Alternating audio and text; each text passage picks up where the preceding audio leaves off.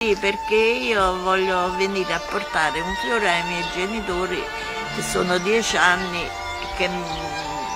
sono sulla sedia a rotelle e questo fatto mi impedisce e mi fa stare pure male veramente.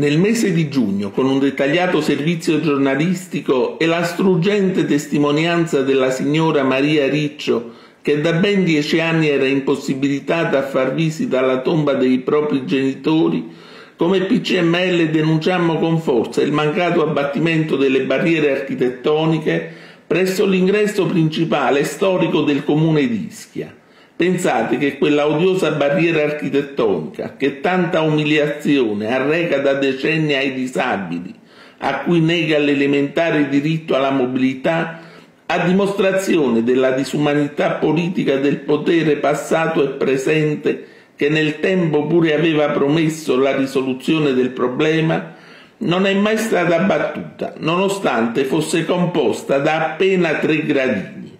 Che vergogna! Tre gradini che da sempre hanno impedito alla signora Maria e a tutti coloro che vivono la sua stessa difficile condizione di vita di poter accedere alla parte vecchia del cimitero.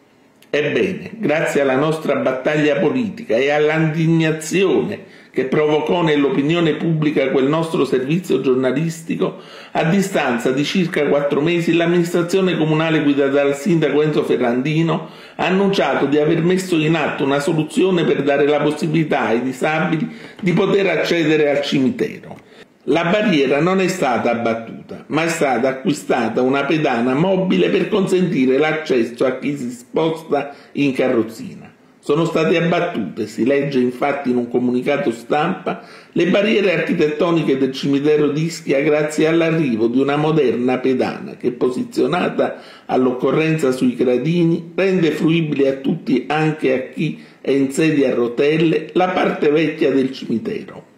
L'augurio, naturalmente, è che la soluzione adottata sia ben funzionale alle esigenze di chi è costretto a circolare sulla sedia a rotelle.